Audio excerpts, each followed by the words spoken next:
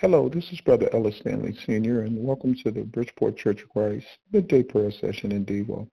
We're excited that you have taken the time and to join us in our fellowship together as we read from God's Word. It is our prayer that it will help you in your daily prayer time with God. So at this time, let us be joyful in his presence and go to him in prayer after our reading. Amen. Today's title will be Throwing in a Worldly Taught Lifestyle. And the scripture is taken from Mark chapter 8, verses 34 through 38. Let us read.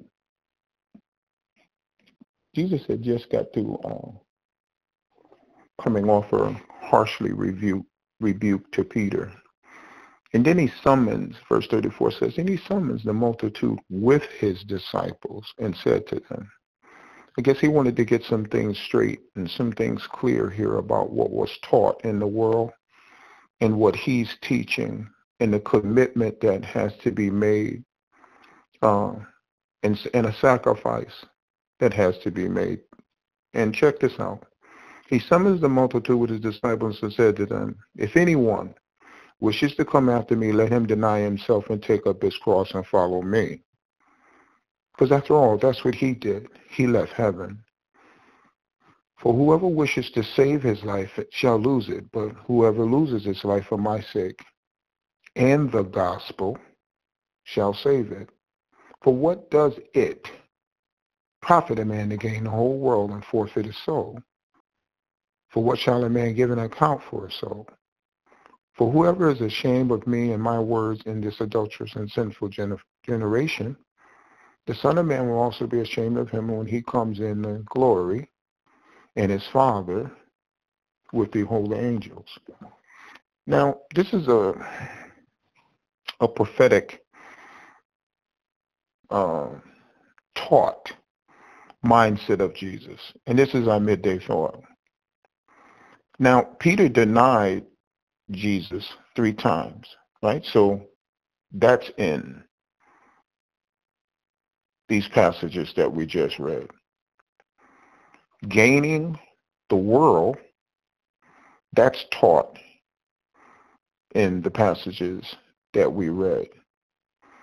And coming to the altar with your cross and leaving it there is taught in this passages of scripture. Think about that.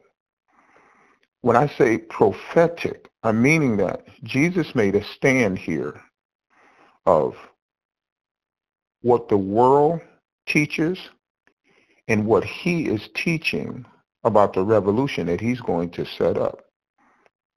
And that way that the world teaches, we have to throw that away. We, you got to toss it, get rid of it. Because he's talking about personal sacrifices, just the way he personally sacrifice glory to come down here and be part of his own creation. If it was necessary for the Son, it is necessary for the Father. Because he calls us friends now. And a servant is no greater than his master. That is taught in these passages. So do you know that following Jesus will cost you your worldly taught perspective? Do you know that? Did you know the movement of the gospel of Christ will cost personal sacrifices? Did you know that?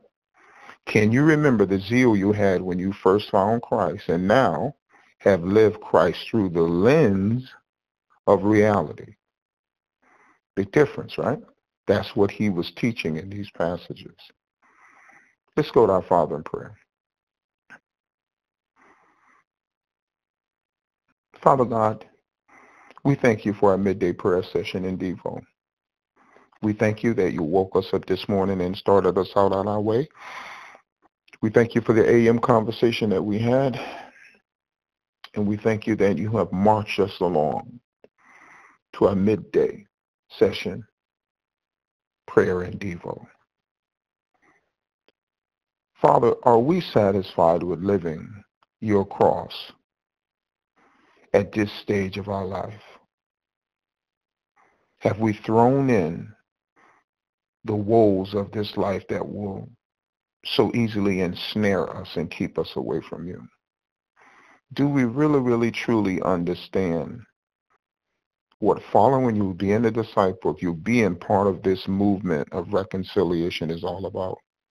Or have we lived so long now since the waters of baptism through the lens of reality? It's something we need to consider and something that we need to think about.